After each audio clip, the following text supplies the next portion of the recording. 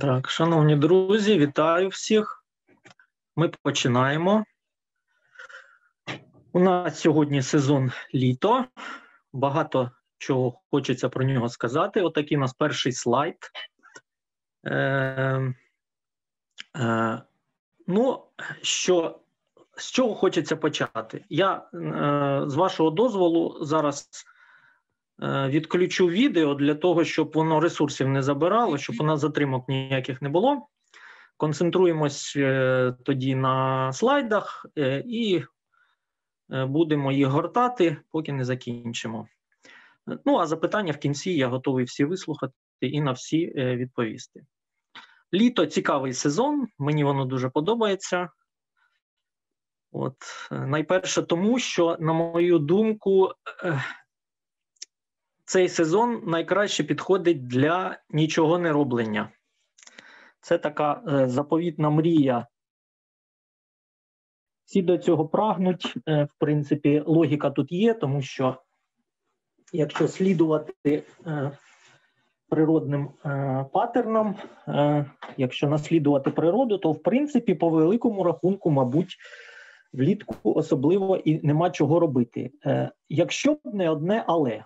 Да? Оцей гамак, який я зобразив на першому слайді, в ньому можна було під деревом лежати в режимі нон-стоп влітку, якщо б з цього дерева на голову не падало ньютонівське яблуко. Тобто я натякаю на те, що е, нічого не робити влітку цілком можливо, якби не стихійно лихо під назвою врожай. Тобто, що б ми з вами не робили, да, а врожай він є, а наша природа українська, вона ж заважає нам спокійно подивитись на оці яблука, які лежать е, десь під яблиною. Да, Нам захочеться, звичайно, е, цей врожай кудись застосувати е, практично. От Тому є таке перший такий момент, який заважає нам лежати у цьому гамаку, але є ще й інші моменти. Коли я готувався до сьогоднішнього вебінару, перше, що я зробив, це звичайно погортав пермакультурну літературу. Ну а потім вирішив, а чому б не погортати ще книжки традиційні да, з садівництва, з городництва, які існують, і подивитися, які які ж там поради е, щодо літа нам. Е, демонструють е, для впровадження да, стосовно цих трьох е, літніх місяців. Ну і що я вам хочу сказати? Робота це була цікава переглядати ці поради, е, тому що ну відсотків, мабуть, 70-80 з них прийшлось відкинути як такі, що Е, пермакультурі непритаманні. Ну так, наприклад, скажу, що приблизно 50% цих порад, які е, у відповідних розділах е, там підручників, літератури, яка по садівництву існує, по традиційному садівництву, рубрики оці, що робити влітку, чи що робити в той чи інший місяць, да, приблизно 50% порад стосується тих чи інших хімічних методів боротьби з шкідниками і хворобами для збереження врожаю. Ну, звичайно, це трошки такий непермакультурний підхід. Е, про це я буду говорити трошки пізніше. Далі ще є такі, ну скажімо, умовно сумнівні е, роботи, е, які нам пропонуються. Це, наприклад, там скошування листя на суниці, підживлення рослин знову ж таки, в основному хімічними добривами або стимуляторами росту. Е, ну, Такі роботи, які, ну, на мій погляд, не обов'язкові, такі як, наприклад, видалення з квітника від цвілих бутонів, щоб ці квітники виглядали краще, або там, наприклад, висмикування стрілок, цибулі, часнику, ну і так далі.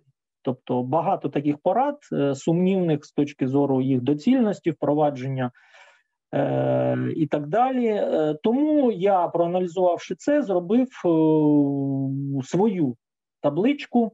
Давайте другий слайд, будь ласка. У мене вийшла отака от табличка е, обов'язкових, на мій погляд, робіт у літньому саду і огороді, без яких, ну, фактично, мабуть, важ, важко обійтись. Да? Важко обійтись. І я їх, по-перше, розташував в порядку їх важливості. Ну, тобто на першому місці у нас вже розташоване те саме збирання і переробка врожаю, про яке я сказав на початку. Ну і далі, на мій погляд, ідуть пункти е, по мірі е, по мірі так сказати, зменшення їхньої важливості. Да. І е, літу. Цілому літу як сезону я розмістив в верхній частині таблиці, а певні нюанси, які стосуються тільки певних місяців, зокрема червня, липня, серпня, Е, вони трошки нижче. І що ми зробимо? Ми коротенько, можна так сказати, галопом пробіжимося по цих всіх пунктах. Е, дуже детально не буду зупинятися. Чому? Тому що ну, якщо зупинятись дуже детально, то тут по кожному з цих пунктів можна проводити окремий вебінар. Звичайно, е, часу для цього нема. Тим більше, що багато з того, що я демонструватиму сьогодні вам на слайдах, воно вже в тій чи іншій мірі розглядалося під час інших вебінарів наших пермакультурних. Тобто, це все можна передивитися в Ютубі при бажанні. Е, загуглити, в літературі почитати. Тому своїм завданням я ставлю сьогодні, е, скажімо, швиденько пробігтися і заакцентувати вашу увагу на певних нюансах. Ну і звичайно на власному досвіді. Е, який в мене є стосовно впровадження тих чи інших пермакультурних методів у власному господарстві. От. Ну і давайте тоді розпочнемо. Наступний слайд у нас стосується першого пункту нашої таблички: це це у нас збирання і переробка врожаю. Е, ну, літо такий достатньо специфічний сезон, е, під час якого оце збирання і переробка починається. Тобто достигають перші ягоди, Е, достигає перший якийсь врожай на городі. Е, в основному традиційно ми всі знаємо, що у нас в Україні прийнято це все діло маринувати. От ну я трошечки цікавився темою здорового харчування з точки зору здорового харчування, маринування, тобто заливання там уксусом, окропом з цукром і так далі. Тобто, е, отакі от методи вони вважаються не зовсім корисними. Да? Тому на сьогоднішній день я пропоную в якості основного методу е, переробки літнього врожаю так звану дегідрацію. Тобто, це ну простими словами сушка. Да? Здійснюється вона, здійснювати її можна різними методами, можна дідівськими методами або бабусиними, да, коли там, наприклад, та сама сушка ті самі там абрикоси, чи порізані яблука, чи якась трава розстилається на горіщі, чи просто десь на якщо мова йде про фрукти соковиті, сушиться на сонці і так далі. Єдиний нюанс, оці всі так сказати старовинні методи, вони вимагають потім допрацьовки цього матеріалу. Чому тому, що якщо його не допрацьовувати, то там, на жаль, заводяться комахи. От, Тому що Е, ну, наприклад, якщо говорити про міль, яка дуже часто заводиться у сушці, то оця, оцей метелик молі він літає вночі і відкладає яйця у цю сушку, яка, наприклад, сушиться на повітрі, просто десь там під сонцем. Да? Вночі сонця нема, е, метелик прилетів, яєчко своє відклав. А потім ми дивуємось, звідкиля Е, взимку беруться хробаки у нашій сушці. Да? Так от вони беруться звідтіля, що це яєчко воно з'являється вночі влітку. Цій сушці, яка е, розташовується просто неба, умовно кажучи, чи десь там на горіщі. Да? Тому сушені таким чином, ну, умовно, там фрукти, овочі або зелень, трава там різна для чаїв, для інших потреб.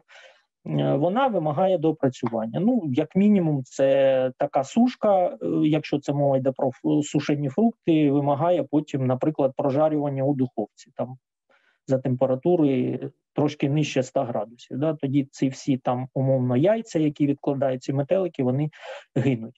Або у сушарці в електричній так само при температурі найвищій 60 градусів можна досушувати такі фрукти, і таким чином також обеззаражувати їх від е, яєць комах. Е, ну і те, що пропонується сьогоднішній день на сьогоднішній день нашою, так скажімо, традиційної промисловості, це різного роду електричні сушарки.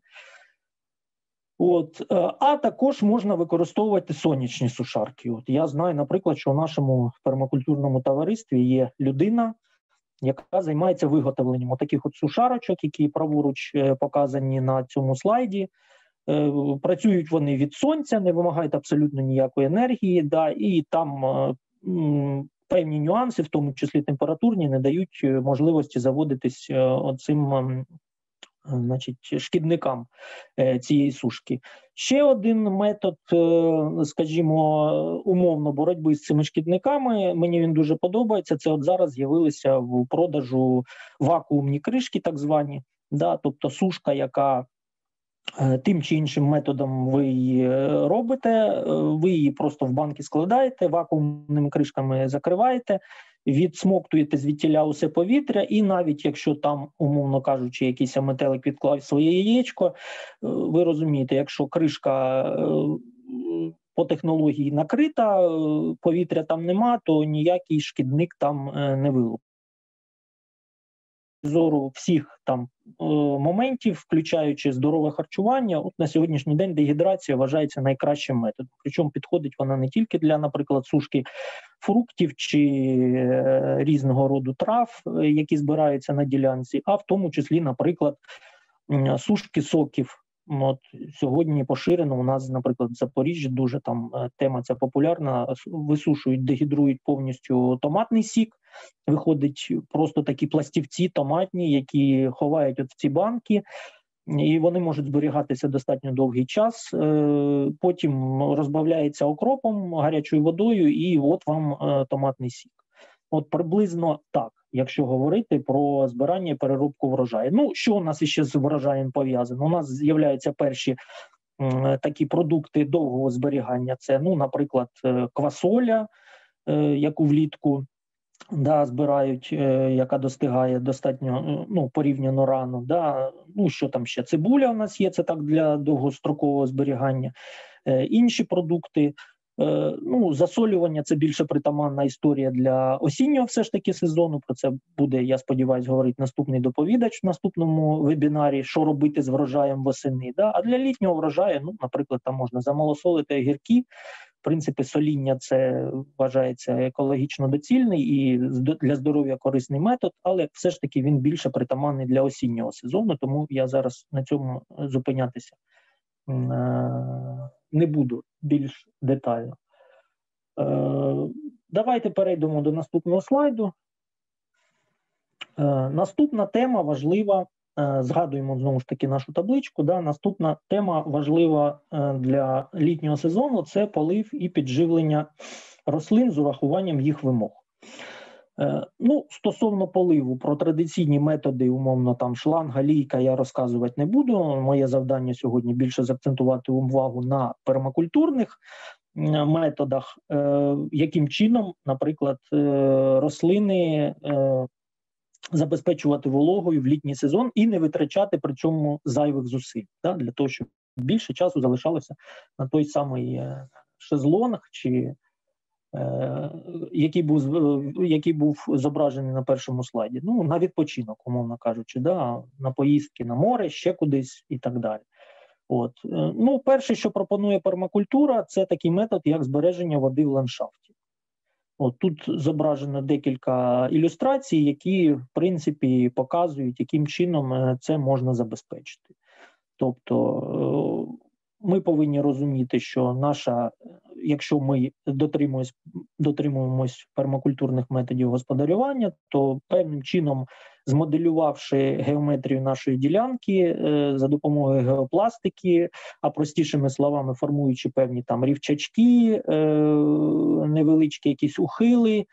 Невеличкі якісь стоки, ми можемо спрямовувати воду, яка, е, зокрема, л'ється на нас згори, да, тобто дощову воду, у певне русло у потрібні нам Е, потрібні нам е, частини ділянки для того, щоб е, зволожувати там ґрунт і менше витрачати часу на полив.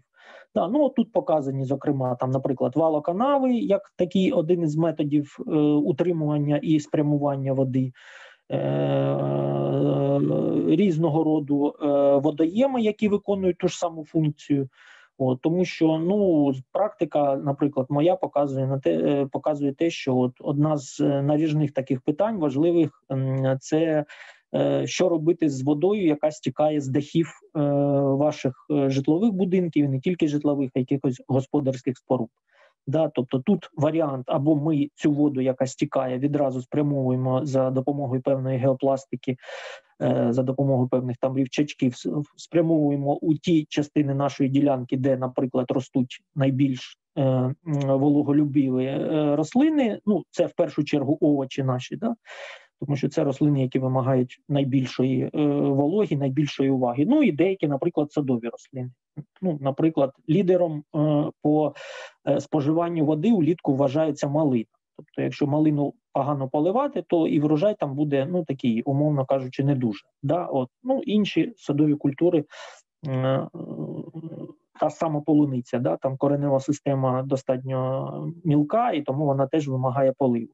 От ми таким чином спрямовуємо воду туди, куди нам треба її спрямовувати, або ми її накопичуємо для того, щоб використати пізніше. Ну от Одним з методів такого накопичення є е, зберігання її у таких от водоймах. Е, от Якщо звернете увагу на нижні два слайди, правий і лівий, то е, побачите, що е, скажімо так, заглибина у землі, е, е, яка робилася під під цю водойму, вона трошки більша, ніж дзеркало самої води. Робиться це спеціально таким чином для того, щоб оця заглибина в потрібний час після дощу Е, могла слугувати е, додатковим обсягом е, для накопичення води. От бачите, ви що такі от береги покриті галькою. В принципі, якщо змоделювати велику зливу і спрямувати туди ці зливові води, то в принципі цей ця водойма може прийняти ще, ну умовно кажучи близько десятка кубометрів зайвої води. Да, І потім цю воду можна поступово використовувати для своїх потреб, для поливу.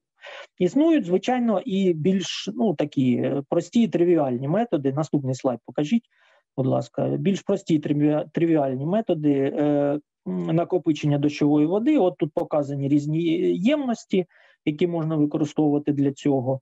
Е, ну, от Я, наприклад, на своїй ділянці використовую такі е, пластикові сині бочки. Вони зараз продаються як е, бувший у вжитку такий товар. Тобто, як правило, в них там якісь хімікати перевозять. От потім, після того як ці бочки спорожніли, їх просто продають на вторинному ринку. Їх можна придбати. Ну, у нас, наприклад, близько 300 гривень. Коштує така одна бочка. Що треба зробити? Її придбати, е, зняти верхню частину, от е, відпиляти там певним чином, да, і вимити добре від е, хімікалій, які там зберігалися, і в принципі можна такі бочки застосовувати. Причому, ну е, я вважаю, наприклад, що такий, е, значить, е, таке розташування на поверхні землі біля будинку, воно дещо ну, з точки зору, скажімо. Дизайну трошки недоречне, тому, ну, наприклад, я практикую закопування бочок. Тобто, у мене практично от біля будинку, де я зараз проживаю, Е, по периметру будинку, по кутках е, закопані бочки, причому по декілька. І от, якщо звернете увагу, тут е, бочки з'єднані трубками між собою, тобто можна в принципі закопати цілу батарею, да, або виставити отак цілу батарею цих бочок відповідно до ваших потреб. Ну а потреби вони вираховуються, в принципі, їх математично можна вирахувати, знаючи. Е, скільки у вас е, в рік падає е, опадів, є певні таблиці спеціальні. Кліматологи вам про це скажуть, і це інформація з відкритим доступом, де ви можете зайти і подивитись, скільки в вашому регіоні випадає в середньому опадів на рік. Да, Скільки там в літній сезон, скільки в зимовий, скільки в осінній. І ви так приблизно знаючи площу вашого водостоку з ваших будівель, можете прикинути, якого обсягу вам е, тара потрібна для зберігання цієї води. І далі вже ваше, так сказати, е, Ваше бажання і ваша воля, яким чином ви будете цей е, кубометраж Е, організовувати, да, чи ви будете закупувати батарею бочок, чи ви просто будете виставляти, чи, наприклад, ви закупите великий отакий контейнер, як показано е, в другому зверху слайді, да, тобто велику бочку там на декілька кубометрів, і в принципі вона вмістить всю вашу воду. Чи ви викопаєте е, ландшафті, наприклад, водойму, тобто це вже е, на ваш розсуд, е, яким чином ви будете діяти. Наступний слайд, будь ласка, покажіть. Крім збирання води, завдання велике, яке стоїть перед нами, це її збереження. Ну тобто, в першу чергу, від випаровування, тому що ми знаємо, що Е, вода, яка впала у вигляді дощу на поверхню, певним чином всмокталася в землю, а потім пригріває сонечко, і поступово ця волога е, починає випаровуватись. Методів, як цього уникнути, звичайно, багато. В традиційному садівництві городництві використовують, наприклад, метод рихлення е, е, цієї корки, яка утворюється після випадання опадів. Да? Таким чином ми порушуємо капілярні зв'язки між окремими е, частинками ґрунту і зменшуємо випаровування. Ну, у пермакультурі прийнято застосувати більш такі, скажімо, ліниві методи, да? тому що стояти з сапкою там. Е, рихлити цю землю трошки вважається не непермакультурно. Тому в основному методи застосовуються е, мульчування. Да? Вважається, що мульчування це найбільш такий, е, по-перше, лінивий, а по-друге, по-друге, природодогоджаючий метод. Збереження вологи, коли поверхня землі під рослинами, під нашими культурними покривається шаром того чи іншого мульчуючого матеріалу. Мульчуючий матеріал може бути різний. Ну, найкращий з моєї точки зору мульчуючий матеріал, і це той матеріал, який використовує природа, це сухі залишки рослин. Це, зокрема, сіно, солома і так далі. Якщо нема таких матеріалів, то в принципі, як каже, кажуть росіяни, гольна видумки хитра. От я декілька слайдів тут продемонстрував вам з власної ділянки. Е, зокрема, нижній правий слайд. От він демонструє вам е, перший рік, коли я почав господарювати на своєму на своїй ділянці присадибній, я використовував для мульчування. От якщо ви подивитесь, все, що було в мене тільки під рукою.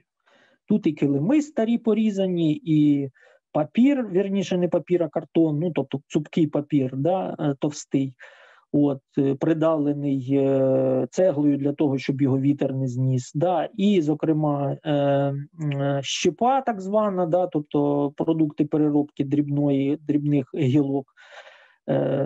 От, Все, що завгодно.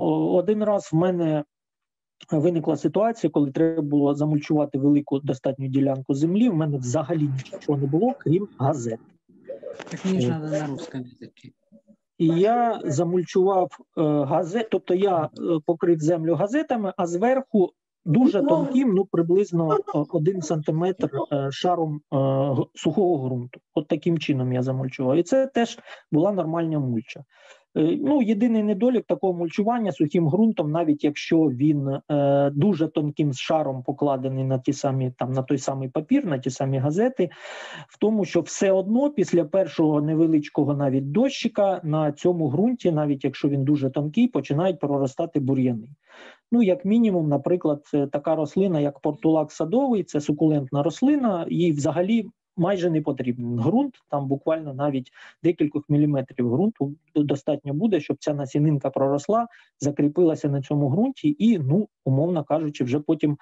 Е, треба думати, що з е, цими бур'янами робити. Да, Така є незручність. Лобода так само дуже витривала рослина, дуже посухостійка, тому от перші буквально краплі падають на ґрунт, вона проростає, і навіть якщо цього ґрунту дуже мало, вона закріплюється. Більше того, коріння настільки міцне, що воно пробиває цю газету, іде в більш глибокі шари е, ґрунту.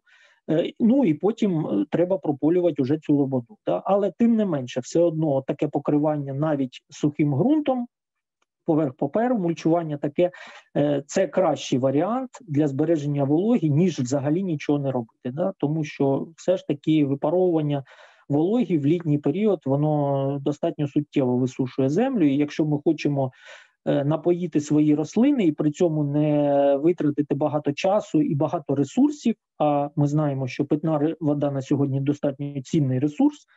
В принципі, ну і і не тільки в, в масштабах України, а в планетарному масштабі все менше стає питної води. От е, і вона дорожчає в зв'язку з цим дуже суттєво. Зокрема, в цьому році подорожчала вода. От у нас не знаю, скоріш за все, по всій Україні, і вона далі буде дорожчати. Тобто, використовувати там питну воду для поливу це Е, питання достатньо складне. А наприклад, е, у моєму регіоні використовувати воду з колодязів для поливу це теж проблема. Чому? Тому що практично вся вода з підземних джерел е, вона має високий рівень жорсткості, тобто вона, як мінімум, солонувата. Да?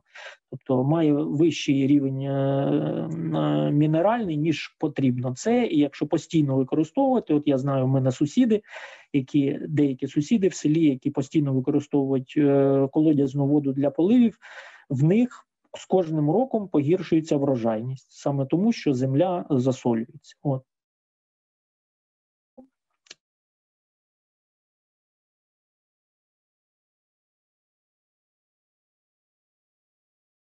Максимуму, е, е, в тому числі від випаровування за допомогою, зокрема, такого методу як мульчування.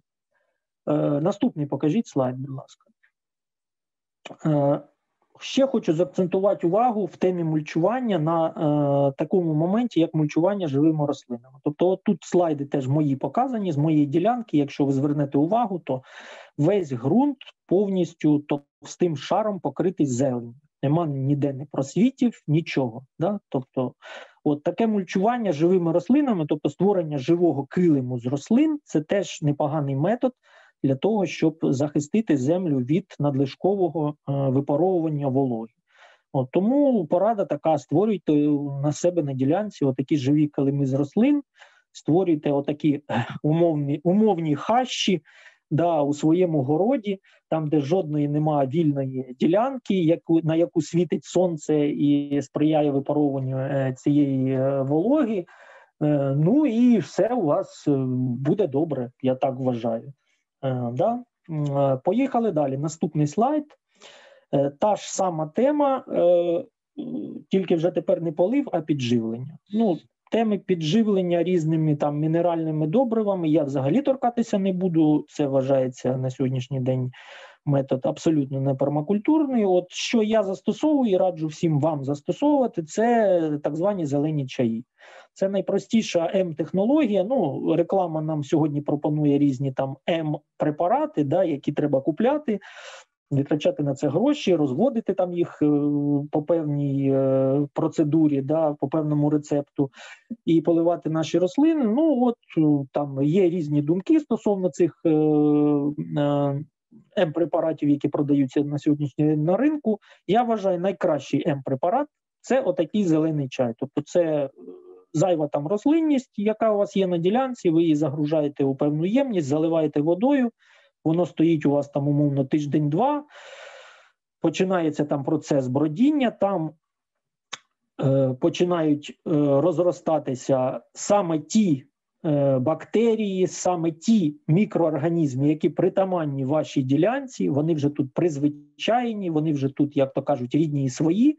І от ці рідні свої мікроорганізми розмножені у великій кількості за допомогою такої технології створення зелених чаїв. Це повірте, найкраще буде е, добриво, найкраще буде підживлення для ваших е, для вашого городу, для ваших рослин. Ну звичайно, є момент, так скажімо, культурного сприйняття. Це те, е, до речі, на чому е, зупинялася.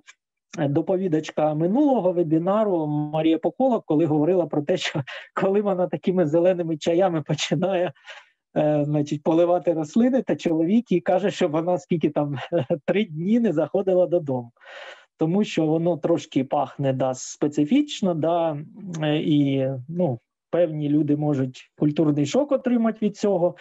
Е, ну, але принаймні це природодогаджаюча, я вважаю, технологія абсолютно природна, і її варто застосовувати, якщо у вас є таке бажання. Ну, а якщо бажання нема, то в принципі можна е, і не застосовувати. Так, далі у нас е, іде. Ага, далі у нас такий слайд е, для того, щоб зафіналити тему е, боротьби за вологу. Да, от, е, Назвав я так: міцні рослини стійкіші до посуху. Тобто, от це два слайди знову ж таки з моєї ділянки. От якщо ви виростили отакі потужні рослини, там висотою приблизно з людину, а то і вище, да, або кабачки з лопухами величезними, там, або кукурудзу, або все, що завгодно. Да. Тобто, якщо у вас рослини міцні, Якщо вони у вас е, мають велику надземну частину, відповідно мають велику підземну частину, то їм і легше добувати вологу, і їм легше миритися з примхами е, погоди. Про це, до речі, я е, детально зупинявся під час двох своїх вебінарів попередніх, які стосувалися планування на пермакультурній ділянці. Тому в кого є бажання, будь ласка, знайдіть воно в відкритому доступі в Ютубі. Передивіться, я багато про це говорю: про те, як виростити е, ну, такі міцні рослини, та великі помідори там з огодинням більше двох метрів і так далі, з відповідною кореневою системою, яка е, Проникає в ґрунт глибоко і може діставати вологу звідтіля, звідки ну які якісь тендітні, маленькі там перчики, якісь достати не зможуть ніколи. От Тому от таким от слайдом я хочу цю тему е, збереження води е, в ландшафті е, завершити. Е, і давайте перейдемо до наступної теми: це механічні так звані операції. От. Е, ну, стосовно прополювання як механічної операції, я зупинятись взагалі не хочу на цій темі, тому що ну я дуже просто на своїй ділянці я вирішую проблему прополювання, витрачання на неї час часу одночасно з вирішенням проблемою проблеми збереження вологи. Тобто я мульчую все, що тільки можна, то з тим шаром е, органічної і не тільки органічної, різної е, мульчі, і таким чином автоматично знімається питання з е, прополювання. Тобто під мульчею, якщо ви закриваєте повністю е, ґрунт від доступу сонця, нічого там не зайвого не росте, умовно кажучи, ті бур'яни, як ми їх звикли називати, да, їх не треба висмикувати, тому що вони просто там не ростуть. Да. Чим товщий шар мульчі, тим е, менше у вас бур'янів на ділянці. Тому, в принципі, оце такий дуже простий пермакультурний метод, як у лапках боротися. Да? Хоча в пермакультурі ми ні з чим не боремось, але от для регулювання чисельності зайвої рослинності, я їх так називаю, да? наприклад, на городі оці, оця там умовна лобода, там чи осот, чи перій, вони там зайві у нас, да, де у нас в принципі повинні рости культурні рослини. От для регулювання цієї зайвої рослинності мульчування найкращий метод для того, щоб не витрачати час, зусилля. Е, не горбити спину, е, не надриватися і не прополювати ці бур'яни. Стосовно інших механічних операцій, дуже важлива це, тема це підв'язка. Да? Рослин. Тому виникає питання, яким чином влаштовувати опори під ці рослини. От я тут продемонстрував декілька своїх е, світлин, е, там, де показано, яким чином це може е, бути влаштовано. Ну, найпростіший метод це коли от взимку, е, зокрема, у нас була тема, що робити взимку. Да, от взимку, чим я займаюся, якщо зайнятися більше нічим, я беру сокирку невеличку, йду там найближчу посадку, і заготовляю такі от тички, там приблизно довжиною 2 трошки 2 з плюсом метрів. Це найкращі, от, наприклад, для того, щоб потім використовувати їх для як опори під квасолю, наприклад, да, видку квасолі, тому що вона любить високі опори. Да. Ну, Для помідорів, якщо вони не високорослі, а середньорослі, підійдуть менші е, тички. Да, тобто, ну найпростіший метод, е, в принципі, можна навіть не використовувати якихось шпагатів, а просто от для квасолі я просто втикаю три або більше отаких жердинок в землю, поки земля ще трошки волога на початку літа. да, І потім наверху чимось з'єдную, виходять такі вігвами.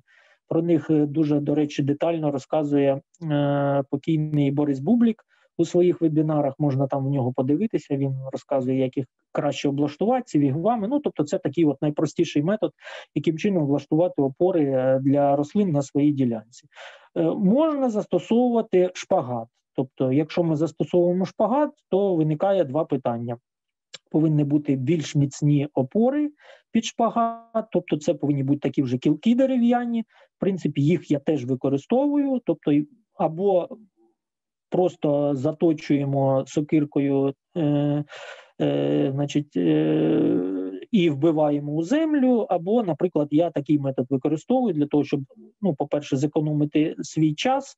Він іноді буває для мене дорожчий, ніж гроші, тому я е, за можливості, там в кого є, закупаю відрізки старих труб буквально 50 сантиметрів відрізок труби е, вбивається в землю е, з шагом, е, з кроком приблизно десь 4 метри, декілька таких відрізків труб.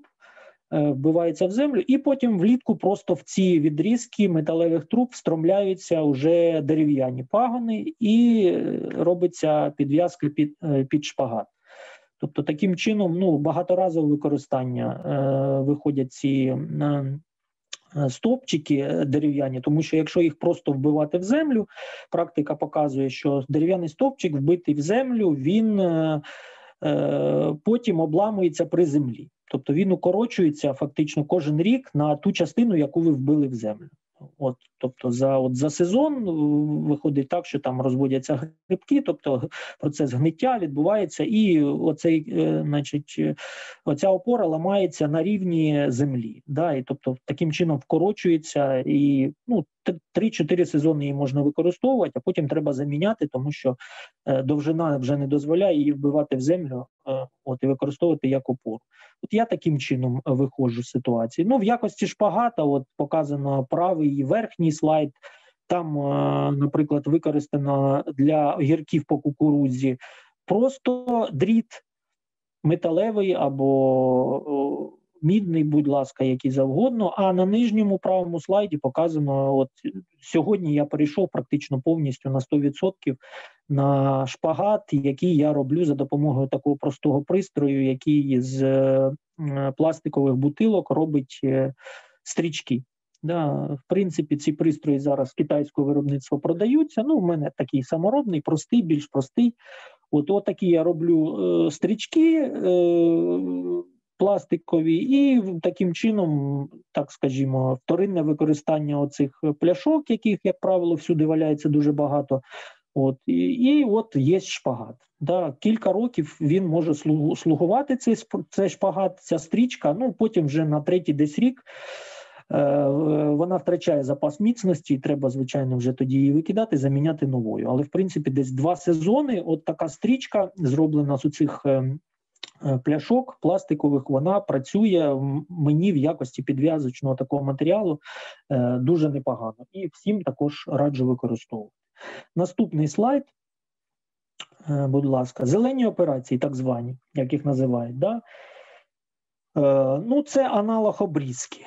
Та це аналог обрізки, але літньої. Да, Їх називають ще називають літня обрізка. Або, от якщо ви звернете увагу на слайди, то іноді навіть не приходиться застосовувати якісь інструменти, іноді просто пальцями, нігтями ми робимо те, що потім дозволяє нам менше роботи робити в осінній і весняний період. Тому що, якщо, наприклад, застосовувати оцей метод прищіпування, який продемонстрований на слайдах е, верхніх лівих, да, От прищіпування верхівок е, пагонів на овочах і на фруктових деревах, то в принципі ми можемо скоротити дуже серйозно обсяг робіт по осінній і зимовій е, вірніше весняній обрізці е, саду, зокрема. Да? Ну і в городі так само прищіпування, наприклад, пагонів.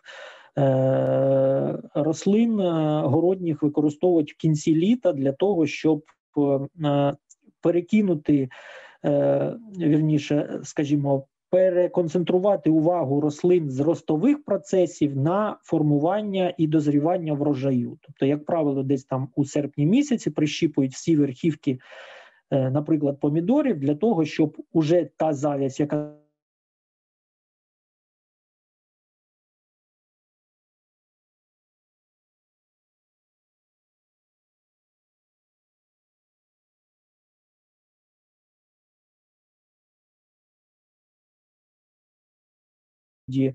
пасинкування, е, видалення пасинків з винограду. Да, Так само трошки нижче показана технологія, е, яка дозволяє зробити з малини дерево. От чули, можливо, таке поняття, як малинове дерево. Воно звучить, звичайно, трошки дивнувато, але от таким от чином, як показано на нижньому правому слайді, формують так звані малинові дерева. Тобто, фактично два рази прищіпують оцей пагін. Спочатку, коли він один іде з землі, на рівні десь приблизно 40 сантиметрів його обрізають або просто нігтями прищіпують, да, для того, щоб почалося галузіння цього єдиного пагона. Після того, як він розгалузився, І ще роблять другу прищіпку для того, ще, щоб е, ще пішло галуження другого порядку. І таким чином, ну, замість одного пагана малинового ми отримуємо таке малинове дерево. Звичайно, врожай при, цьому зростає приблизно в 2-3 рази. З одного такого ростового пагана малини, але тут треба е, зважати на зворотній бік справи е, разом з зростанням врожайності у такої малини зростає і її вибагливість, зокрема до поливу.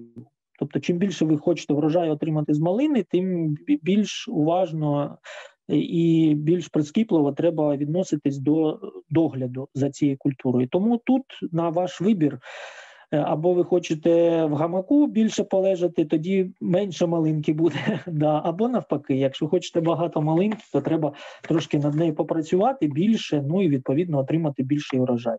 Ну і зокрема, те саме, наприклад, стосується е, помідорів. Да, От е, нижній лівий слайд показує пасинкування помідорів. Ну, досвід мій показує е, те, що операція е, абсолютно не обов'язкова пасинкування помідорів. Якщо ви хочете більш великі плоди, скажімо, більш великі, да, е, от, то можна використовувати пасинкування.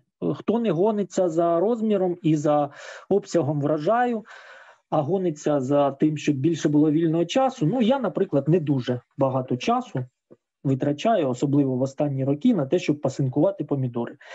Е, на е, підв'язку час витрачаю. Чому? Тому що помідори я вирощую тільки високорослі, інших я, в принципі, не признаю. Ну, якщо мова йде про ранні, можна посадити 10 кущиків ранніх, вони, як правило, детермінантні, тобто вони всі низькорослі.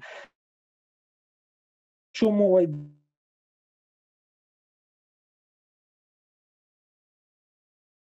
то вони заплітають город так, що потім через нього просто важко пересуватися.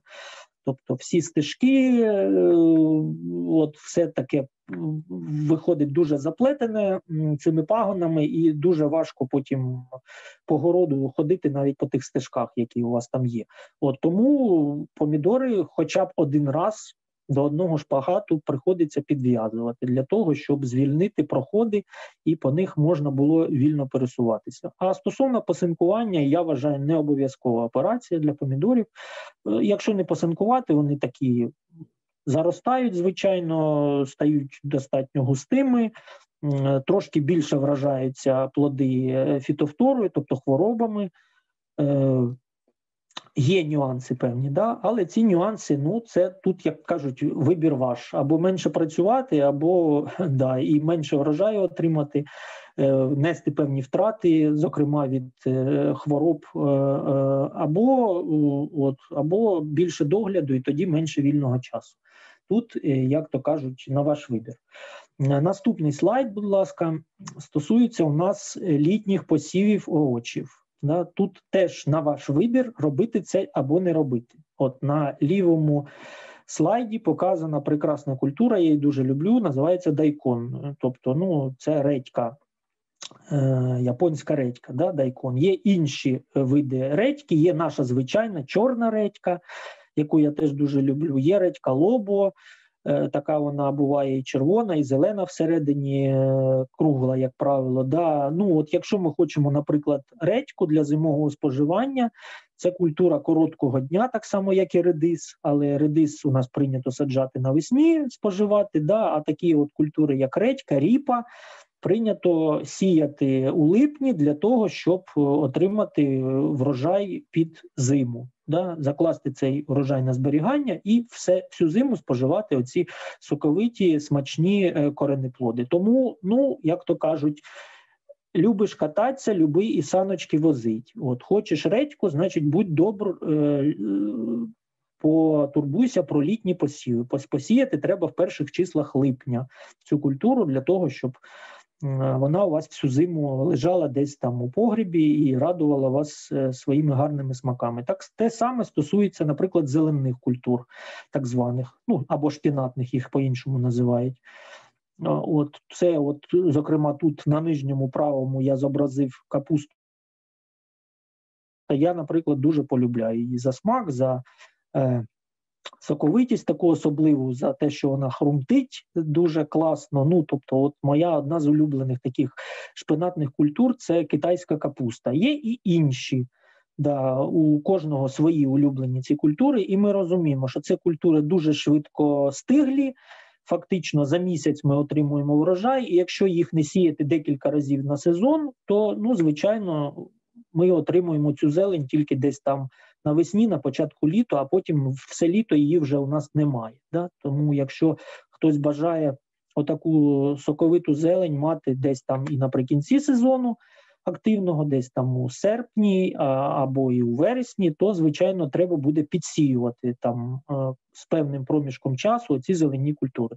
І огірків це теж стосується, тому що, ну як правило, практика показує, що на таких лінивих городах пермакультурних, так званих, коли не дуже багато уваги приділяється нами е, окремій кожній рослині, коли всі рослини ростуть, так скажімо, в такому більш наближеному до природного середовища. Як правило, гіркі посіяні десь там е, у травні, як правило, десь там у липні вже вони напівсухі або сухі. Тобто, і якщо ми хочемо огірочки хрумкі споживати десь уже в кінці літа, на початку осені, то приходиться ці огірки підсіювати е, десь.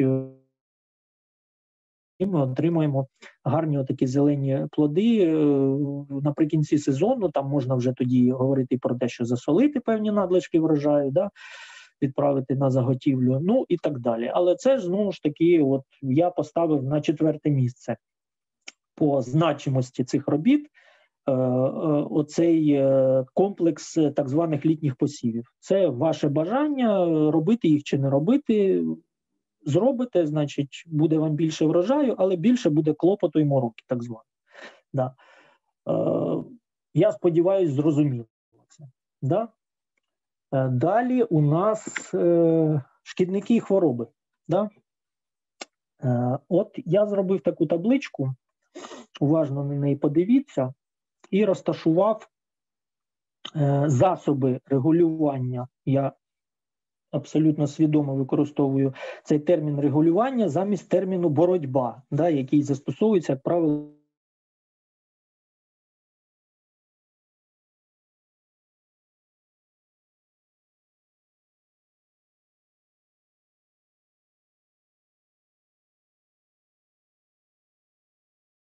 Чисельності шкідників і хвороб я умовно розподілив е, на такі от групи від починаючи від найбільш пермакультурних да, е, на першому плані, і закінчуючи сьомим пунктом, це зовсім не пермакультурні. Да? От. Е, можемо коротенько з вами пробігтися по на першому місці. Найбільш пермакультурний, на мій погляд, метод, який полягає в тому, що ми просто ускладнюємо життя е, шкідливим е, організмом. Яким чином е, ми це робимо? Наступний покажіть слайд, будь ласка. Яким чином ми це робимо? Дуже просто. Ми уникаємо монокультур, сумісні використовуємо посадки різних культур для того, щоб створити такий певний хаос на городі або в садку, і ці шкідники трошки самі заплутались в цій ситуації, да? чим їм важче важче було е, по е, запаху, а запах, е, в принципі, це є основний метод е, отримання інформації комахами, щоб їм важко було зорієнтуватися у вашому саді і огороді, важко було знайти оцю спеціалізовану культуру. Е, на якій, наприклад, е, яку полюбляє той чи інший шкідник. Да? Тобто ми від, висаджуємо відлякуючі та фітонцидні рослини, от які своїм запахом трошки дезорієнтують цих шкідливих комах. Да, Ми уникаємо монокультури, і ми використовуємо, наприклад, ще такий метод, як скошування тих трав, які слугують розсадниками хвороб і шкідників. Ну, от, наприклад, я знаю, що така трава, як осока, є, да, вона слугує розсадником такої хвороби карантинної, як іржа, от, яка, е, в принципі, притаманна і огородним культурам, і садовим. От якщо ми просто будемо регулярно скошувати оцю осоку, е, старе листя, е, то іржа не буде розмножуватись. Ну, от, от такий метод. Да? Наступний другий метод це залучення хижаків на ділянку. Ну, в принципі, якщо ви створюєте отаке різноманіття, як показано на цих слайдах, Е, то ви автоматично цих хижаків е, залучаєте на свою ділянку. Тобто, ви фактично будуєте новий трофічний ланцюг. Ну, що таке трофічні ланцюги в природі? Це е, Якщо простими словами, хто кого з'їдає, да, умовно кажучи, найпростіший там трофічний ланцюг це, наприклад, там жаба, яка з'їдає комара, а далі жабу з'їдає хто там якась цапля, да, цаплю полює лисиця. От вам е, трофічний ланцюг вибудований, да, природній, абсолютно який існує всюди в нормальній природі. Да. От таким чином ми фактично допомагаємо вибудувати ці трофічні ланцюги. Ми принаджуємо на ділянку хижих комах. Вони, як правило, люблять е, ці дорослі комахи люблять е, селитися десь, де от таких квіт багато різних, і в принципі дорослі е, багато з дорослих так званих хижих комах вони насправді харчуються нектаром. Да? А от їхні лічинки харчуються, зокрема, шкідливими комахами. Тобто яєчко відкладається у шкідливу комаху, і лічинка харчується шкідливою комахою. От е, Для багатьох хижих комах це притаманно. Ну не для всіх, звичайно. Ну, Наприклад, сонечко відразу харчується е, тлею тією ж самою. да, е, от. Але тим не менше, да, там, де таке біорізноманіття присутнє на ділянці, там завжди багато цих е, хижих комах. Далі ми принаджуємо птахів земноводних і стимулюємо розмноження корисної мікрофлори для того, щоб е, ця мікрофлора допомагала нам е, уникати е, поширення хвороб. Е, наступний слайд, будь ласка, покажіть, повернемось до нашої таблички. От, щоб не забути, що у нас там далі йде. Ну, наступний за значенням пермакультурний метод це так звані механічні засоби боротьби регулювання шкідників і хвороб. Тобто, це метод більше такий не побудови трофічних ланцюгів, а доповнення цих трофічних ланцюгів. Ну, наприклад, якщо багато тлі на певній гілці, ми можемо цю гілку зрізати і десь просто кинути на землю. Відразу на цю тлю нападуть е, якісь інші комахи, розтягнуть її, там з'їдять і так далі. Да? Те саме буде, наприклад, якщо ми струсимо цих комах шкідливих на землю або зіб'ємо їх. Е, водою, так само вони е, потраплять у трошки несприятливе для себе середовище, і є велика вірогідність, що якісь хижі камахи їх там знайдуть і ними пообідають, да, умовно кажучи. Таким чином ми доповнюємо цей трофічний ланцюг. Е, ну, До таких методів доповнення ланцюгу можна умовно використовувати е, такий метод, як оприскування окропом, тобто гарячою водою. Таким чином, ми знову ж таки частину цих комах шкідливих е, вбиваємо, частину просто обварюємо, да, вони там стають якимось там, умовно кажучи, інвалідами млявими і потрапляють знову ж таки. На обід до якихось більш спритних е, хижих комах. Да? Е, Наступний четвертий е, такий кластер Е, регулювання це справжні біопрепарати, до них відносяться бактеріальні, грибкові і вірусні. Це справжні біопрепарати. Да?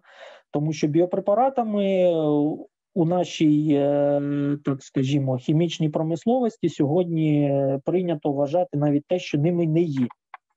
Да. От, е, от. А от справжні біопрепарати це препарати на основі бактеріальних, грибних або вірусних компонентів які знову ж таки вбивають е, цих шкідливих комах, при цьому не особливо втручаючись у ці е, трофічні зв'язки. Да?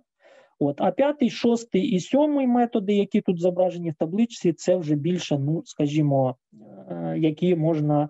Які не можна відносити до пермакультурних, тому що ну, є хімікати природного походження, це, зокрема, відвари настоянки отруйних рослин, які використовують дуже часто і говорять: ну це ж природньо, це ж от з природи взяли там, наприклад, відвар полину е, чи там відвар е, тютюну, да, взяли і використали для боротьби з цими шкідниками. Але забувають сказати про те, що все одно це отрута, хоча вона природного характеру. От, е, от, Тим більше, якщо мова йде вже все ж таки про отруйні речовини. От е, такі серйозні отруйні речовини. От нещодавно я статтю прочитав наукову, дуже серйозну. Китайці провели дослідження і виявили, що е, е, Використання хімічних піретроїдів, так званих і нікотиноїдів, ну тобто, це фактично у хімічний спосіб е, е, змавповані е, сполуки тютюну і перетруму, да, тобто рослин. Тобто, фактично взяли основу цю рослинну, а потім її синтезували хімічним способом. І таким чином винайшли ці новітні препарати, які умовно сьогодні називають біо. Да, Насправді вони не дуже біо. Да, Це фактично просто скажімо, хімія. Да, От е, китайці звернули увагу на те, що от потруєні комахи е, оцими хімічними препаратами, які е, мають біологічну, так сказати, основу, вони потім негативно впливають на, зокрема, на бджіл. Тому що виявляється, наприклад, що коли ви труєте попелицю від е, тлю, так звану да, попелицю від е, за допомогою ні, е, нео цих нікотиноїдів, хімічно е, змонтованих, от то потім е, ці е, хімічні продукти потрапляють у оцю солодку пать, яку використовують. Е, комахи для свого живлення. Да? Ми ж знаємо, що, наприклад, е, мурахи розводять спеціально тлю для того, щоб ласувати оцим е, солодким, солодкими виділеннями. Так само цими солодкими виділеннями ласують, наприклад, бджоли, коли їм нічого їсти наприкінці літа. Да? Тобто взяток маленький, квіти всі посохли наприкінці літа, бджола літає, шукає чогось солодкого попоїсти. Да? І в тому числі в якості цих солодощів використовують оці виділення тлі тлі і труяться цими виділеннями, тому що тлю е, у промислових масштабах кроплять цими от препаратами. Тобто, ну, на спеціалізованій хімії взагалі не буду зупинятись, абсолютно не е, пермакультурний метод. Да? Е, ну, стосовно стосовно боротьби так званої шкідниками хворобами завершили. Давайте ще е, наступний слайд. Давайте погортаємо. Давайте ще трошки зупинимось на специфічних е, роботах кожного з місяця. Кожного місяця. Буквально коротенько пробіжуся, тому що бачу, що вже я близько години. Проте про інше. Ну, от дивіться, червень. Е, да, На мій погляд, важливе достатньо заняття червня це накопичення фітомаси для мульчування.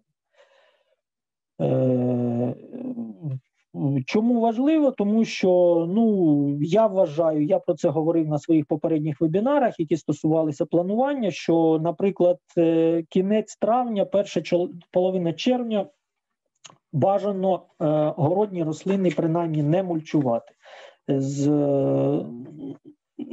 через те, що таке раннє мульчування, воно, як правило, призводить до, по-перше, до того, що слимаки дуже серйозно роз, е, розводяться на ділянці. І по-друге, якщо буде пізній приморозок, Е, весняний або ранньолітній, а бувають і такі на початку червня, і у вас все замульчовано товстим шаром, то, як правило, ваші рослини культурні постраждають від цього приморозку. Ну е, розповідати дуже довго не буду. Є тут певна логіка. Тобто, я, наприклад, на своїй ділянці мульчування використовую вже в кінці червня, е, на початку липня, ну і далі весь серпень.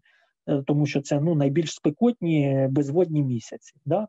От, А от накопичувати фітомасу да, там у вигляді там сіна, соломи треба в червні, тому що, ну, наприклад, е, хто стикався з проблемою купівлі тюків соломи, той знає, про що я говорю. От у нас, наприклад, в нашій місцевості, якщо ти заздалегідь не замовиш е, солому, не скажеш, не підійдеш там до тіточки певної яка цим займається в селі, і не скаже, що мені, будь ласка, запишіть, мені треба 20 тюків соломи. Так, якщо ти це ти це не зробиш на початку червня, то тоді, коли вже ту солому розвозять по хатах, тобі її не привезуть. Тобто її треба заздалегідь замовити. Про це треба подбати, про це треба пам'ятати. От.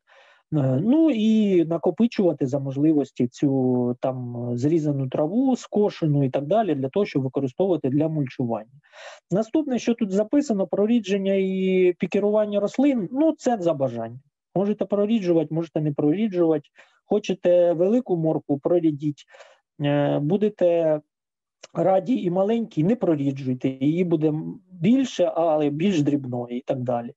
Е, що стосується липня, про мульчування я вже сказав, да, і про опори я теж сказав. Да, Не буду зупинятися, я відповідний слайд показував. Да.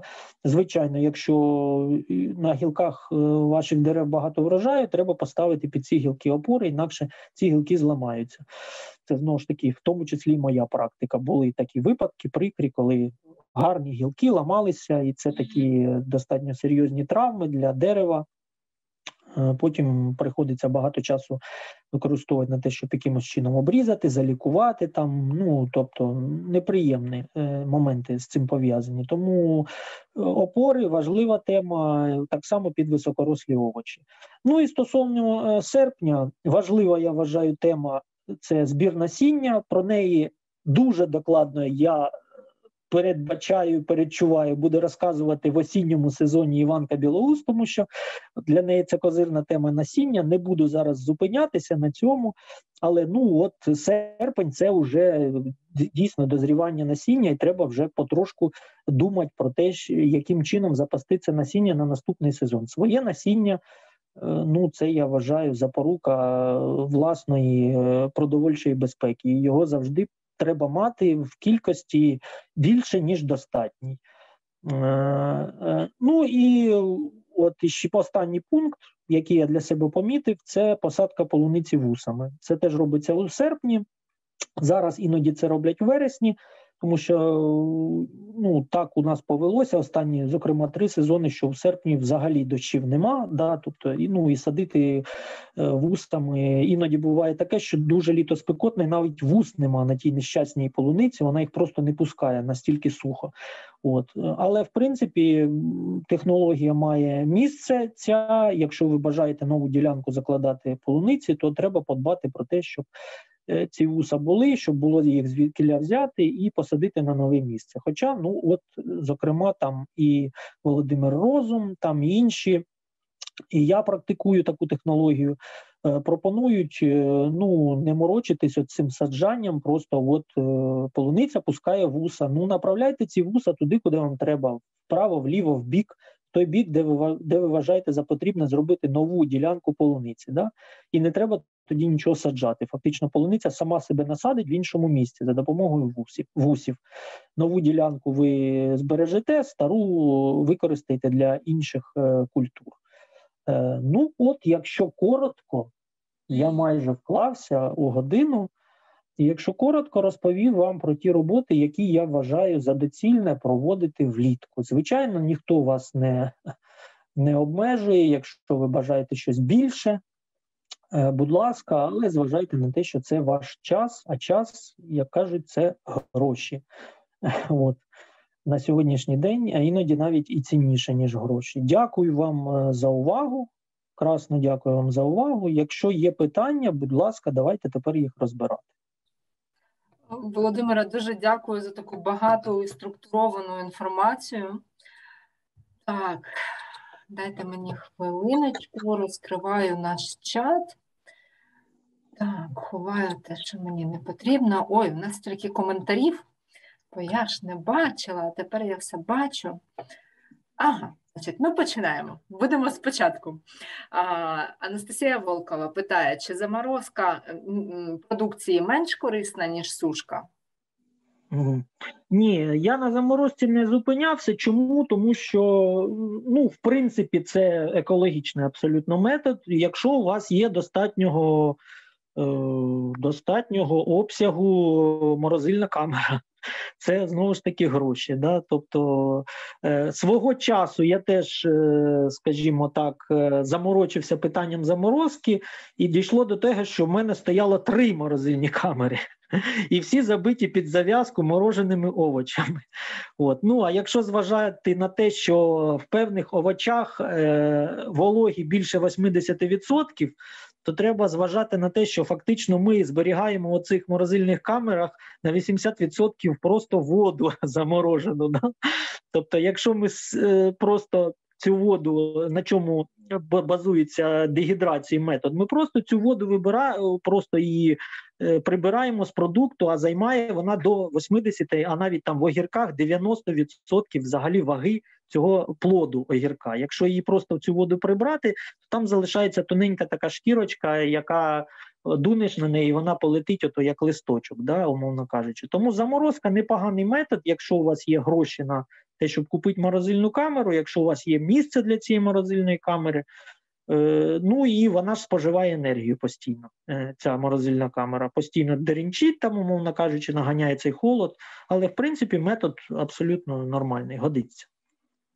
Дякую. Наступне запитання від Андрія Маринця. А як справлятись зі слизнями під мульчею? Ну, от е, я заакцентував на це увагу, да, що тут дуже от я для себе знайшов експериментальним методом 10 років різних експериментів. От я для себе зрозумів так, що якщо почати мульчування дуже рано, як правило, його починають ще у травні, да, а якщо не в травні, то точно на початку червня. От чим раніше ви починаєте мульчувати ґрунт, тим більше у вас буде слимаків. От. Тому я починаю мульчувати серйозно товстим шаром у липні, і для себе виявив закономірність, що ну, в рази, як мінімум, а то й на порядок, слимаків менше. Ну, звичайно, що ми можемо запропонувати від слимаків? Купа всяких методів і. Е, присутні в інтернеті описані і так далі, починаючи там від закопування пляшок із пивом, і закінчуючи оцими біопрепаратами, не дуже біо, да, зокрема там уліцит, інші, які продають е, якби у цих спеціалізованих магазинах, е, в принципі, все годиться більш що більш-менш не хімічне. Да, Що я можу сказати, особливо оцей рудий слимак. У нас, на щастя, поки що на півдні його нема. Він більше все ж таки характерний для західних і північних областей України, поки що. Да, от У нас його поки що нема. Але ну, слимаки, да, іноді це проблема. Слимаки іноді це проблема. Тому отут е, все ж таки я для себе е, отакий віднайшов експериментальним шляхом баланс. Все ж таки, його треба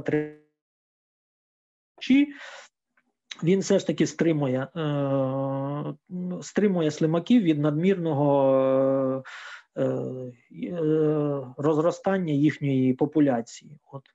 Е, проблема існує, да, проблема існує. Ну, якось, в принципі, сказати, що я особливо сильно борюсь зі слимаками, не борюсь, просто намагаюся це робити так, щоб їх було поменше. Ну, зокрема, якщо дуже проблема велика там на певних культурах, ну, уліцит, є такі препарати. Да. Дякую. Можу ще додати, що у нас на сайті в розділі статті є досить велика стаття, де зібрані о, багато способів о, також контролю за слизняками. Наступне питання від Люби Остапчук стосовно мульчування живими рослинами. Чи помічали ви в себе на ділянці якісь особливо вдалі поєднання рослин? Ой, ну це для окремого вебінару взагалі. Це не можна в двох словах е, розказати. Е, так. Поєднання рослин тут тут буквально і не знаю книжку. Я можу книжку написати, тому що я подивіться оці мої два вебінари, які стосуються планування. Я там про це говорю більш е, детально, більш розлого. І тут багато є таких лайфхаків в тому плані, що ну от, зокрема, на деяких картинках там можливо я не заакцентував увагу. Фактично на деяких моїх слайдах розвінчуються певні міфи стосовно поєднання чи не поєднання певних культур, тому що там пишуть про те, що, наприклад, помідори з огірками садити не можна, вони там один одного пригнічують і так далі. Нічого подібного, все можна. В мене росло прекрасно. У мене от один із слайдів, погортайте у цій презентації сьогоднішній, там от огірки разом з помідорами. Можете звернути, будь ласка, увагу. Прекрасно все росте. Ну, єдине, що є певні незручності, пов'язані з тим, що огірки, як правило, хочуть все оплести. От, А коли вони заплітають, то незручно ходити, так само, як і з помідорами, які е, мають велике огудиння. Да? Їх треба або підв'язувати, або думати, яким чином їх е, розташовувати. Дякую. Я е, ми обов'язково додамо в розсилку е, посилання посилання на ці два вебінари, про які говорить Володимир. Тому ви їх отримуєте. Отримаєте, не хвилюйтесь через це. А наступне запитання. Давайте в мене пропозиція така. Давайте заплануємо вебінар, який це тема дуже, на мій погляд, класна. Е, який який стосується оцього, як Бублік його назвав, меланжевий город. Ну тобто, от е, створення оцього біорізноманіття, які культури з якими слід поєднувати, варто, які не варто. Це тема дуже широка. Про неї ну як мінімум годину можна розказувати без зупину. Ми лише за це чудово. Добре, тоді рухаємося далі. Е, Ольга Сергійчук питає: чи можливе передозування зеленим чаєм? Є якісь рекомендації щодо цього?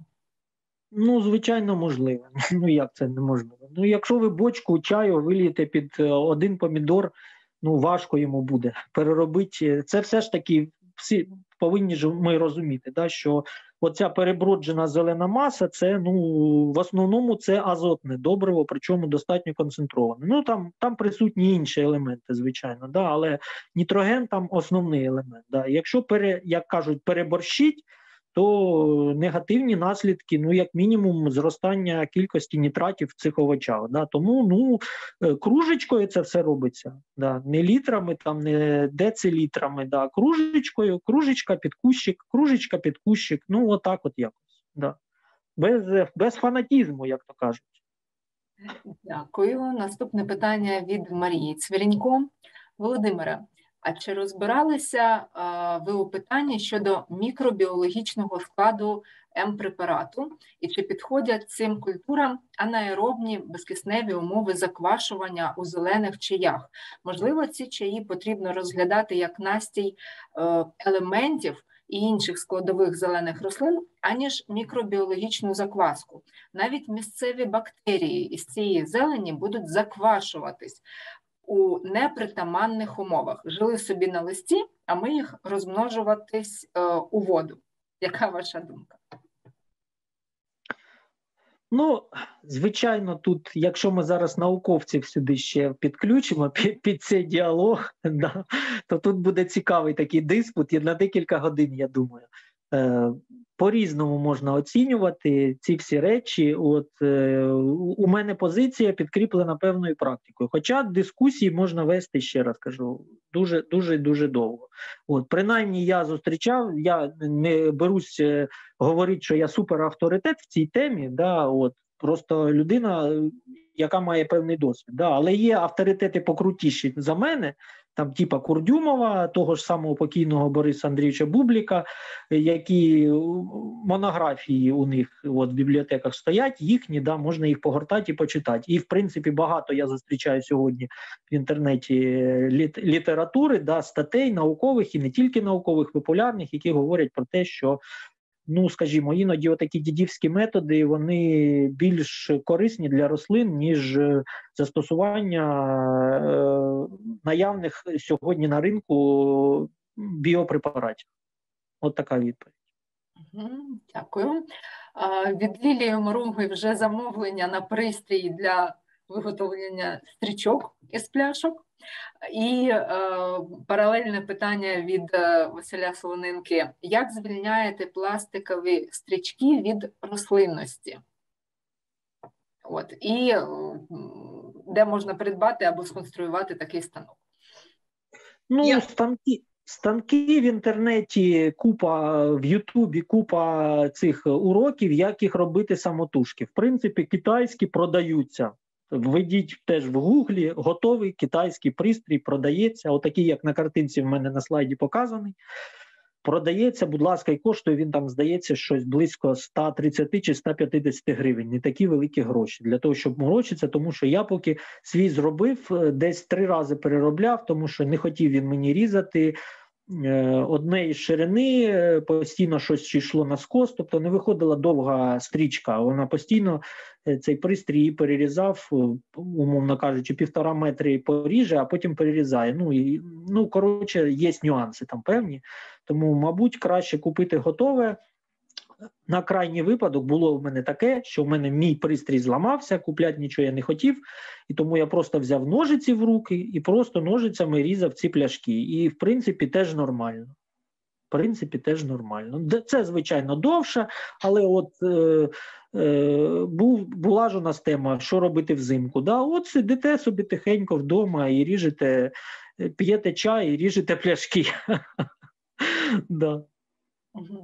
Е, Ну і от, власне, два е, теж е, схожі питання. Перше від Марії, чи оця стрічка вона з гострими краями чи ні? І от від Василя, як звільняти пластики від стрічки від рослинності? Тобто вони корелюють. Ну, краї в неї, в неї гострі. То можна, що можна я уточню питання своє звільнення, бо говориться, що їх можна використовувати стрічки е, 3-4 роки. Наприклад, я вирощую квасолю витку, і шнурок, шпагат не звільниш від, е, ну, від цієї рослини. Я зрозумів, да, я зрозумів. Ну, я не бачу великої проблеми. Я вам так скажу, що ті стрічки, які я використовую декілька років, вони в мене всі обвішані, по-перше, підв'язним матеріалом. В якості підв'язки я використовую, ну, як правило, просто тканину не потрібно, там якісь уже майки подраті, все ми деремо на отакі от. Е, е, Стрічки, якими підв'язуємо потім там помідори, що там ще. Ну зрозуміло, да? просто е, кусочки, е, шматочки да, тканини, от такі, е, більш-менш довгі, якими можна підв'язати. І от ті е, значить, е, стрічки, які вже використані, вони в мене всі обвішані. Я не витрачаю час на те, щоб зрізати ці, умовно кажучи, минулорічні підв'язочні штуки. Так само, якщо, наприклад, у вас там стебло залишилось обвите ці, цієї квасолі, ну хай воно там собі буде. Чим воно там особливо заважає? Ви наступного року розтягнули ту саму стрічку, закріпили її та й все. А що там на ній, умовно кажучи, е, накручене, ну нехай собі буде накручене. То ну да, є там певні нюанси, коли, наприклад, високорослі помідори у мене я беру там ножиці і все, що зайве, там відрізаю для того, щоб звільнити цю стрічку, можна було там, умовно кажучи, її змотати певним чином, використати наступного разу. Краї, да, гоструваті, можу так сказати. Краї гоструваті. Іноді так буває, підв'язуєш особливо помідори, і трошки е, стебла помідорні псуються об оцей гострий е, краєчок е, цієї стрічки пластикової. Але ну, нічого смертельного не, не було. Жодного куща помідор, наприклад, в мене від цього не пропало. Ну, трошки там щось десь потерло, трошки, як то кажуть, е- попсувало цей пагін, він нормально собі далі росте. Ну, тобто не було ніяких таких прикрих випадків, коли б, наприклад, цей гострий край е- там підрізав рослину чи там е- повністю знищив якийсь пагін. Ну, тобто таких випадків я не пам'ятаю. Хоча я використовую цю, ці стрічки вже ну, років 5 як мінімум в якості основного замінника шпагату. Дякую дуже. Ще одне питання від Марії: яким чином можна вирішити проблему сонячних опіків плодів томату високорослих сортів?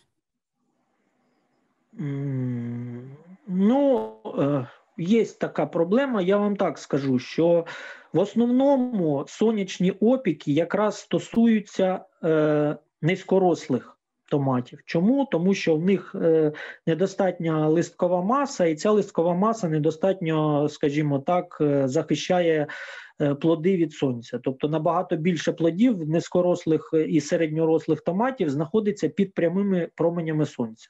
Для високорослих сортів це не характерно, тому що от зверніть увагу, там є слайди. Здається, зараз вам скажу, який це слайд. Е, там, де мульчування живими рослинами. Е, сьомий слайд. Отам мої фото, де показано, що собою представляє мій город. Да? Так там буквально е, помідорна плантація нагадує такі джунглі, тобто там тих помідорів за листям і не видно. Тобто вони всі е, прикриті листям. І от якщо вони притінені листям, то звичайно вони не будуть на сонці пектись. Печуться ті плоди, які експоновані добре сонячним променям. Тому тут вихід такий. І е, порада вам така: якщо у вас серйозно страждають помідори від е, від сонячних опіків, значить вам треба приділяти увагу посадці рослин, які будуть притіняти. Тобто зелені куліси є така тема створення зелених куліс, тобто притіняючої фактично е- рослинності. Да. Посадіть побільше садової лободи, яка там більше двох метрів росте, посадіть побільше кукурузи е, з південного боку від ваших помідорів, посадіть десь там, щоб соняхи росли. Ну, тобто рослини, які створюють тінь розріджену. От у мене зверніть увагу, е- там, де слайд, я вже забув, який слайд, біорізноманіття. Е, Господи, який же це слайд?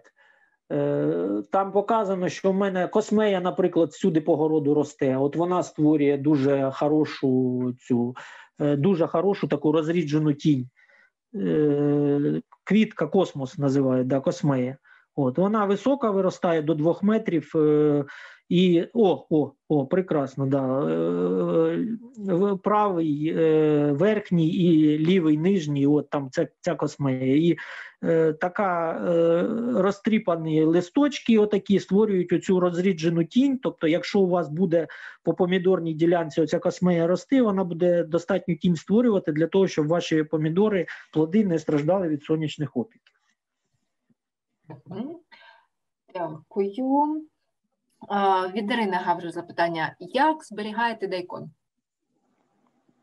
Та як зберігаю? Отак і зберігаю.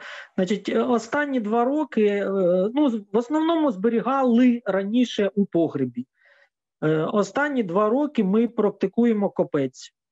От як я вже переїхав в село на постійне місце проживання, ми практично всі коренеплоди на зиму закопуємо в копець. Тобто, це викопується ямка, вона, вона в нас на дворі, іноді роблять в сараї для того, щоб, ну, скажімо, опади не заважали. Да, В сараї, там, де долівка, там, де нема е, кам'яної підлоги, а там, де просто земляна підлога, тобто просто в землі робиться ямка.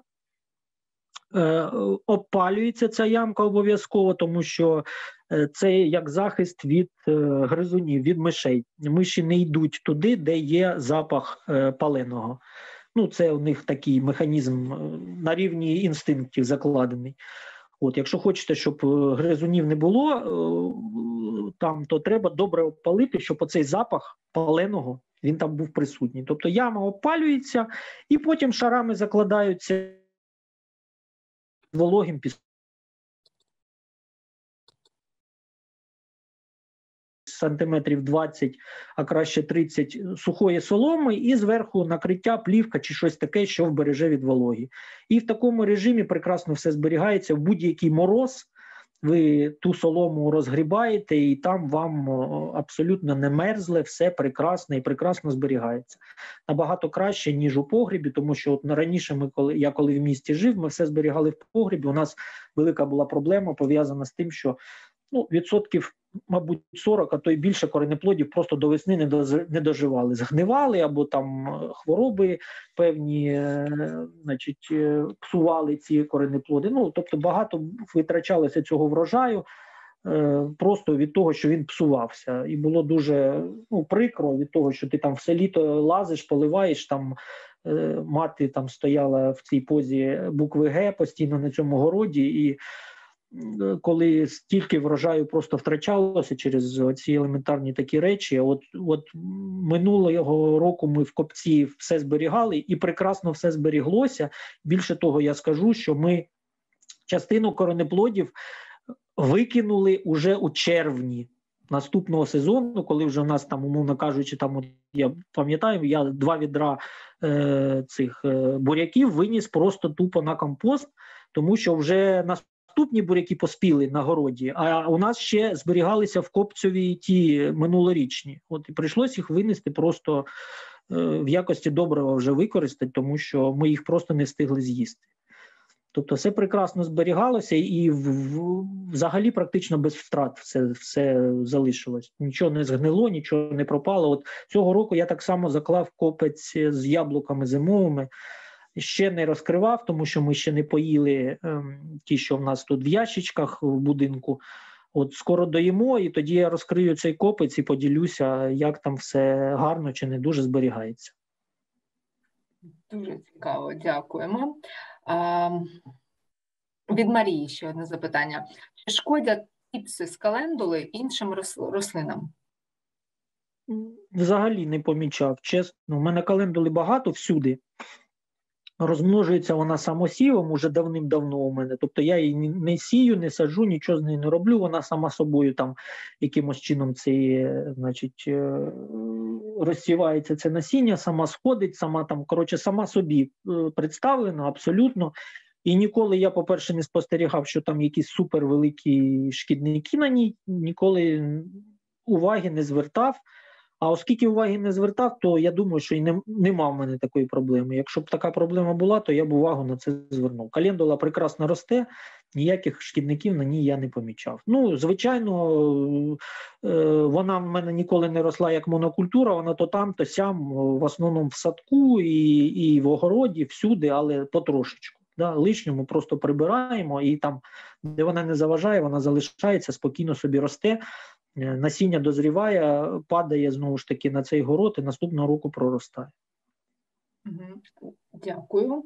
Повертаючись до попереднього е, до попередньої розповіді, а чи потрібно оцей купець кожен рік робити новий, чи на постійному місці він може функціонувати багато років? Ну от ми цього року коренеплоди заклали в той самий, що був минулого року. Тобто я просто його вичистив, все, що там було, вигріб, вичистив, знову обпалили і знову туди саме все заклали. Для е, яблук вирили новий поряд з тим минулорічним. Угу.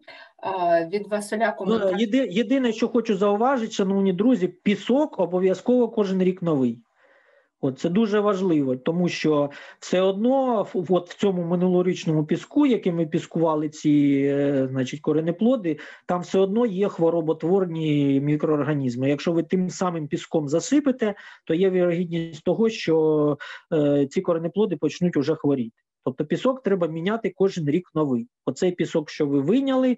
Ну, я, наприклад, той пісок, що я вийняв з минулорічної ями, я його просто на будівельні роботи пустив і все там. Ми там умовно бетонували, я просто в бетономішалку його всипав і пішов він на будівничі роботи. А який приблизно розмір ями?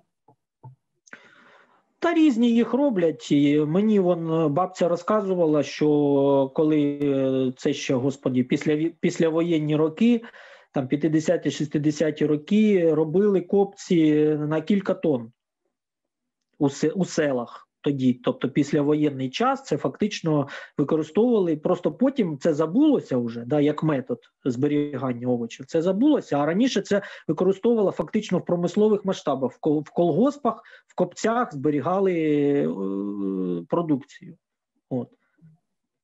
Робили їх такими довгими, просто довгу траншею копали, не дуже глибоку, але довгу. І туди можна було затарити кілька тонн продукції.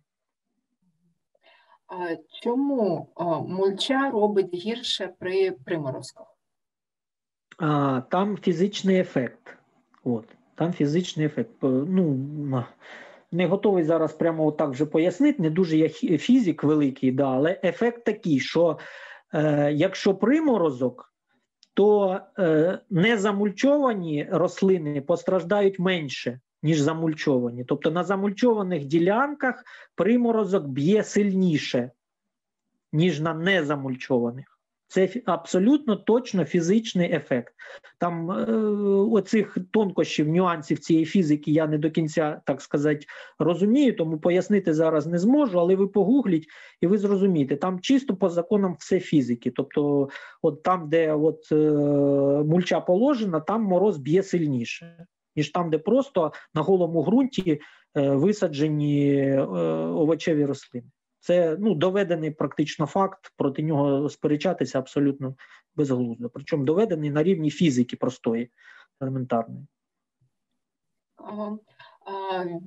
Ще запитання: з якими культурами краще поєднати картоплю, щоб відлякати жука? Ну, я вам так скажу. В мене колись були експерименти на самому початку моєї, так сказати, пермакультурної діяльності, коли я намагався от якраз е, дезорієнтувати жука шляхом отаких е, е, меланжевих посадок. Тобто, фактично, кущ від куща картоплі там на відстані 5 метрів, да, умовно кажучи, десь схований під іншими е, овочами. Да? Тобто був і такий в мене досвід. Але практика показала моя, що, ну, мабуть, на жаль, для нас це той е, виняток з правил, який все ж таки існує. От на мій великий е, на моє велике переконання, картоплю все ж таки варто для економії часу, енергії, нервів і всього іншого. Картопля це та культура, яку якраз варто саджати монокультурою, одною якоюсь ділянкою для того, щоб ну, умовно було зручно прискати того жука. От. Тому що прискати все одно, як би ми не старалися, хоча там і розказують, що там, що там, що там календулою обсадити, чорнобривцями поприскати, ще там щось зробити, і от жук не піде. Та, шановні друзі, піде. От я вам можу так сказати. Не пішов би він в єдиному випадку, в єдиному, якщо це був би необітаємий острів. От тоді б він не пішов. Оскільки, вибачте, за парканом одні сусіди, а за другим парканом.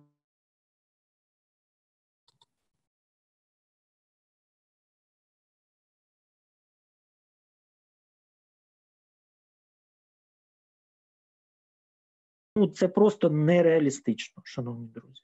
Тому ну, от я саджу картоплю компактно, монокультурою для того, щоб е, зручно було боротися з жуком. На жаль, по-іншому не виходить поки що.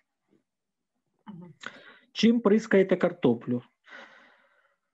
Ну, намагаюсь прискати чимось не дуже е, токсичним, звичайно. Біопрепарати, ну, наприклад, мені подобається е, так, як же ж він називається?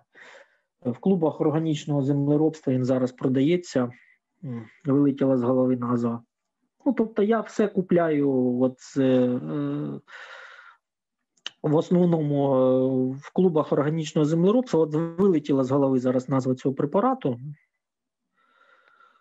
Ну, вони всі, да, от Актофіт правильно пишуть. Да, Актофіт, от абсолютно, е, абсолютно правильно використовується проти жука. Ну, єдина незручність, що ним приходиться бризкати частіше, ніж якоюсь е, такою е, серйозною хімією. Да? Якщо там якимось децесом можна раз побризкати на весь сезон, чи он як замочують в цьому е, коренеплоди перед посадкою в цьому забув теж, як препарат хімічний називається, що взагалі нічого його не їсть, і самому ту картоплю не варто їсти, тому що престіж, да, здається, цей препарат. От, то краще як актофітом 3-4 рази побризкати, принаймні ти знаєш, що ну, біологічна основа цього препарату, що сам ти потім тією картоплею не отруєшся.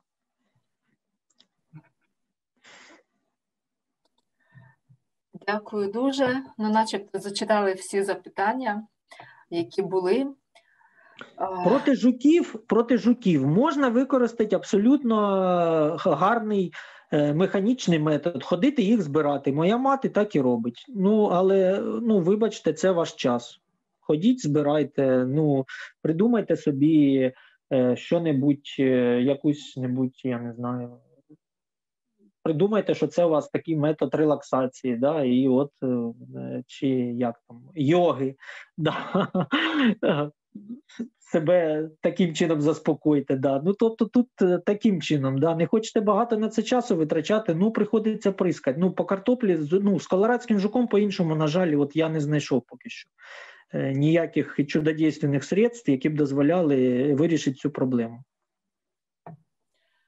Дякуємо дуже. Е, Володимире, абсолютно чудова, неймовірна лекція, купа інформації, дуже багато нового. Е, Я впевнена, що не лише для мене, а й для наших досвідчених городників.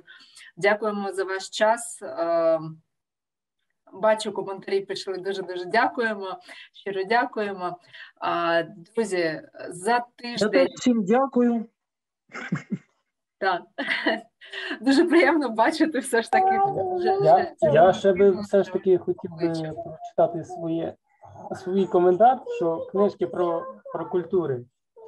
Та-та-та, що дуже не вистачає книжки про поєднання культур, тому Так, варто мені дуже написати.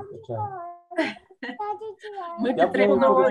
Давайте була і напишемо колективну монографію з цього приводу. Я думаю, досвід у всіх е, шикарний, не тільки в мене. Е, От давайте зберемо все це докупи і видамо гарну книжку про те, як е, біорізноманіття поєднувати із потребами вирощування гарного врожаю.